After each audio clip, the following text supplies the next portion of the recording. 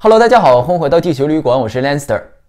二十世纪七十年代，中国重庆出来了一个二十来岁的年轻人，他看起来比较文静，但是谁也没有想到他能文能武，不仅从小习武，长大了还当了医生，更是成为了一名气功大师。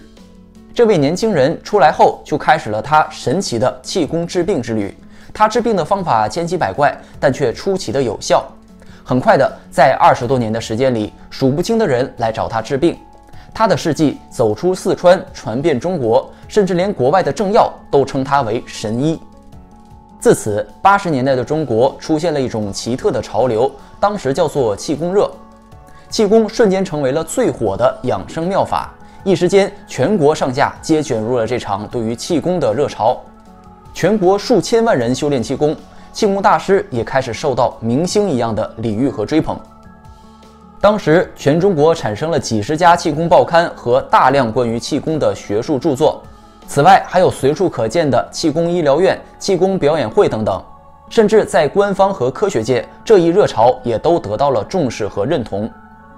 在十多年里，各式各样的气功如雨后春笋般的涌现，每家每户都有人出来练气功。而这个年轻的神医也被捧上了神坛，成为了最受欢迎的气功师之一，人人称他为在世华佗。然而，让人没有想到的是，到了九十年代，这种受万人拥戴的情况竟然来了个大反转。这个曾经风靡全国的男人被推下了神坛，瞬间变成了人人唾弃的对象，甚至被大骂是神棍。自此，他销声匿迹。究竟发生了什么事儿，让他瞬间跌入了谷底呢？今天我们就来聊聊严心的故事。一九五零年三月八日，中国四川省江油县的一个农民家庭里出生了一个男孩，取名严心。严心虽然长得瘦小，可是从小就喜欢武术。四岁那年，严心和几个小伙伴在山林里玩耍，忽然出现了一个中年男子，在严心的面前施展了一番轻功后，就瞬间消失了。但很快又出现在他的面前。小小年纪的严欣看的是一愣一愣的，马上就缠住了这位男子要拜师。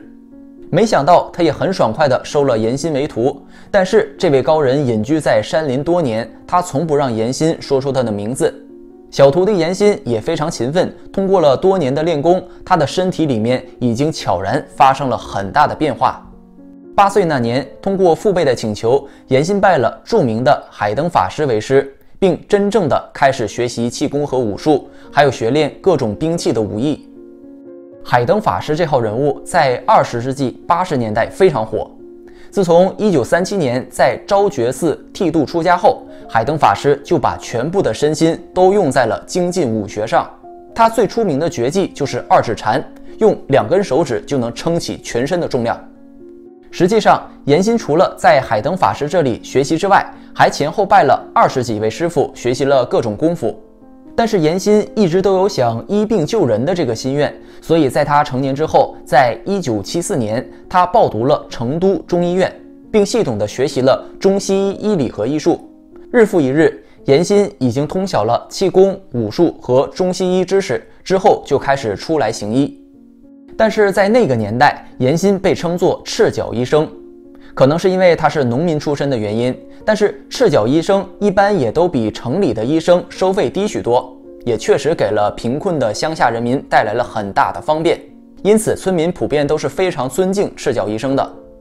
在严新行医的二十多年的时间里，数不清的人来找他治病，并且在他的妙手治疗下都康复了。他的事迹也渐渐地传遍了中国，甚至连国外的政要也都称他为神医。但让他真正爆红的，不是因为他高超的医术，而是他帮病患治病时所用的方法太过于超乎常理，已经是超出了人类所知的一切医学知识了。一九八三年的一天。中国绵阳市的一位妇女因为家庭争执，一时想不开，就拿起了一瓶农药喝了下去。等到家里人发现时，情况已经很危险了，于是家人就赶忙准备把人送到医院去。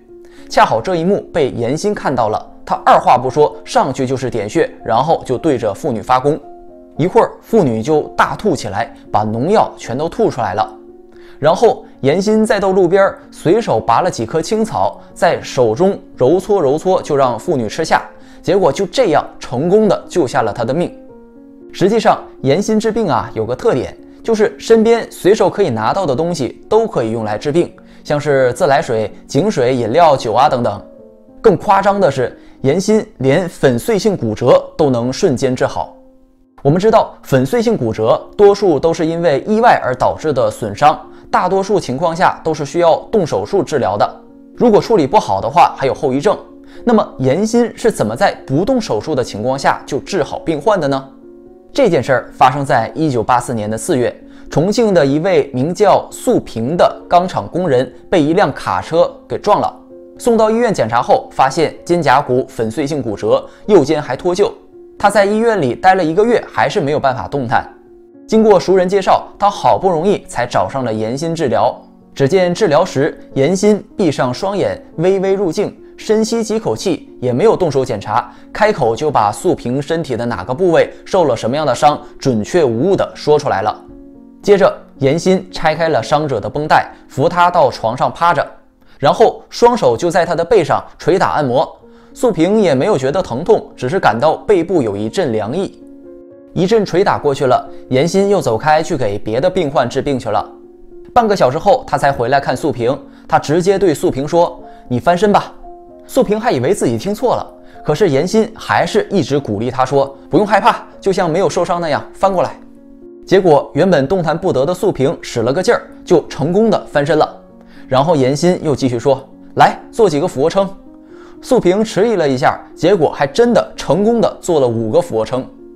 不止如此，按照严欣的指示，素萍还走下床，抓着门梁做了引体向上的动作，更是一手就提起了五十斤重的重物，就好像她从来没有受伤一样。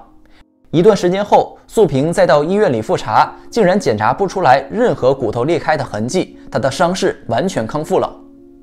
严欣的治病方法是让人看不透。像是用一团棉花治疗耳聋，用牛奶治好糖尿病，而且治病的时间非常迅速，一瞬间就治好了，根本就不用病人休养啊，渐渐康复的这么一个过程。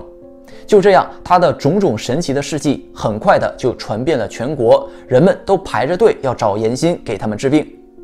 但找严心看病的人实在是太多了，这么一个一个的去治疗，严心肯定是做不来的。于是，在辽宁沈阳，他办了他人生中第一场代工讲座，在教气功功理和功法的同时，也给千万人用气功治了病。在这之后，严心又在中国各地多次举办了类似这样的大型讲座，他成了八十年代最火的气功师之一。在那之后，严心还被邀请到香港、日本、泰国，还有美国、加拿大、墨西哥等地举办讲座，而且现场每次都是座无虚席。在这期间，气功在中国掀起了一股气功热潮，只要和气功能够沾上边的，都会受到民众的热烈欢迎。结果社会上就产生了一种乱象，不只是正宗的气功出来传功，趁着这股气功热，伪气功也跳出来了，有的还特别能创新搞怪。到了一九九三年，人们开始有的头上顶着铁锅练功，说是能够接收宇宙的气场，达到天人感应等等。现在我们可能觉得这样的功法一看就是不对劲儿，可是，在那个年代却能够迷惑不少人跟着疯狂。结果，一九九四年开始，中国政府开始以整顿气功乱象和破除伪科学等名义清理气功，许多气功团体受到了国家机构的批评和监视，媒体风向也来了个大反转，从吹捧变成了抨击。这番操作波及了全国的气功师，还给他们贴上了迷信、神棍等标签。当然，严心也免不了受到了波及，他甚至被某党员公开批评和所谓的揭穿。我查了一下这个人的背景啊，是一个专门研究马列主义的科学家，基本上他的立场是公开反对一切气功，甚至是中医，认为那都是伪科学。在政府的这一番操作下，气功热就像是被泼了一盆冷水一样，多数人对气功的态度是一百八十度转变，许多人不再相信气功。甚至好像谈虎色变一样。现在关于严心的资料能在网上找到的不多，但几乎都是一面倒的数落他，批判的占多数。像是说严心曾经自称能够徒手拦截原子弹，发功熄灭了大兴安岭的火灾等等。这些言论啊，很显然很容易快速地建立起一个神棍的形象，只是目前没有证据能够证明严欣曾经说过这样的话。不过，我看了一部1994年严欣的采访影片，发现啊，他说话的态度非常温和，口条和思维逻辑都非常的清晰，不像是会说出那种狂妄不理智话的人。而且在他的采访中，记者还提问到，为什么他从事各种气功活动却不收费？他也是回答的很谦卑，说这只是因为他个人的原因，他自己已经有了稳定的工作和收入，所以才不收费。不像是网传的那样说，他看到了气功的商机才出来传功的。您从事各种气功活动啊，从来不收取金钱，您对这个问题怎么考虑的？哦，好，我觉得中国气功本身它的技术是以德为本，当然这个德呢，不只是说收不收钱的问题了。因为我这儿不收钱呢，但是我只是。基于我个人的原因，一是我觉得呢，我有正规的工作了，所到之处了，有人邀请了、聘请了，这个生活方面就是了，有人关照了。那么在国内工作有正式的工资了，等等了，这是一个原因。第二一点呢，我觉得中国气功它需要有人对它做出一些关于证明的工作。网上还流传了严欣被揭穿后，狼狈地逃到美国去销声匿迹了。但实际情况是，严欣还活跃于美国的科学界，而且还发表了多篇有关于气功的科学研究论文。他的研究都是围绕在探讨气功外气对物质的结构和性质的影响，以至于对人体的影响。一个气功大师为什么突然搞起科学研究了呢？实际上，严欣当年在采访中表明了自己的立场，就是要以科学来证明气功是真的。他在努力地洗清人们对气功的误解。从他到美国后在科技界所做出的贡献来看，他似乎并没有忘记自己的初衷。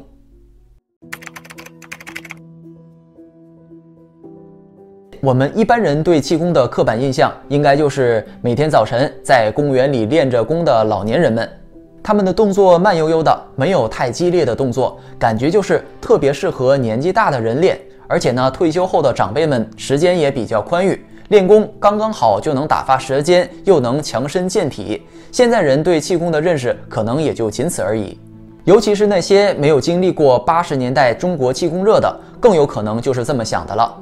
但实际上，有很多的科学实验证实了，真正的气功师发出的功确实是一种能量的存在，而且对于疾病的疗效是非常显著的。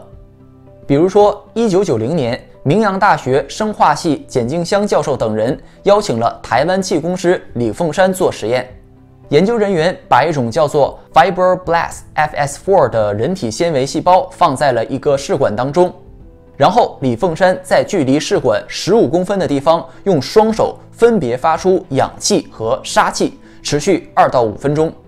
实验结果表明，相比没有发过氧气的细胞，被发过功的细胞里的 DNA 的合成增加了百分之十至百分之十五，而且蛋白质的合成的速率也增加了百分之三至百分之五。而在被发过杀气的细胞当中，DNA 合成降低了百分之二十以上，蛋白质的合成速率也降低了百分之四至百分之十。最让人惊讶的是。细胞的染色体长链有部分断裂，这意味着什么呢？要知道，严重的核辐射就能使染色体全部断裂，这就相当于气功师的能量使细胞的周围发生了核辐射一样。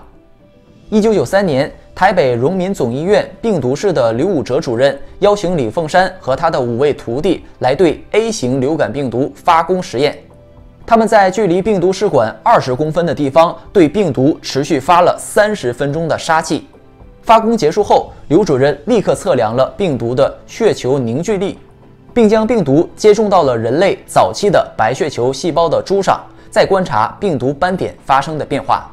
实验结果发现，有四位师傅发出的杀气能使病毒的凝血能力降低，接种到细胞中之后，也使体外细胞的分裂增殖行为被抑制。也就是说，病毒自身的分裂繁殖降低了，而且传播的可能性也降低了。这么看来呀，真气功师确实有治病的能力。在更多的实验中，还发现不只是气功大师有能力，一些在练气功的人，他们的身体里也产生了一些奇特的变化。二零零五年，美国贝勒医学院的科学家们在替代医学领域权威杂志上发表了一篇论文。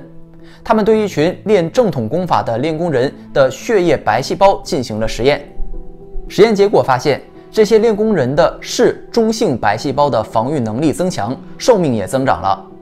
因此，这些练功人只要有正常人的百分之二十到百分之三十的嗜中性白细胞，就足以达到了超长的抗病与免疫能力。这也大大的减轻了骨髓制造嗜中性白细胞的负担。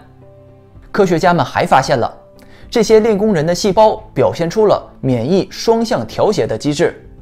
我们知道，我们的免疫系统有如双刃剑，它可以杀死病原，保护机体，但是太强了也可以造成过度的炎症反应，从而对自身造成伤害。而这些练功人的嗜中性粒细胞在没有炎症刺激时存活的时间比一般人的细胞要长，加上吞噬功能也强，因而呢有利于保护机体。而当有炎症因子时，却能迅速走向凋亡，从而减少炎症的发生。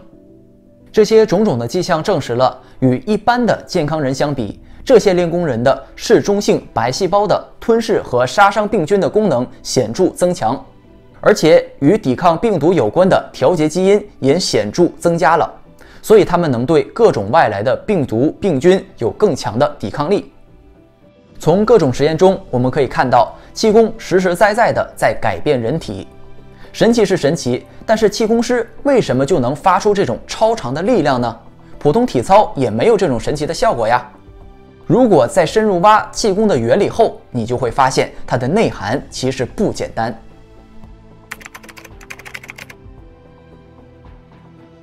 气功的起源可以追溯到中国古代，最早记录在晋朝许逊描述气术修炼法的《剑灵子》中，还有《黄帝内经》《吕氏春秋》《老子》《庄子》等书中也都有和气功相关的内容。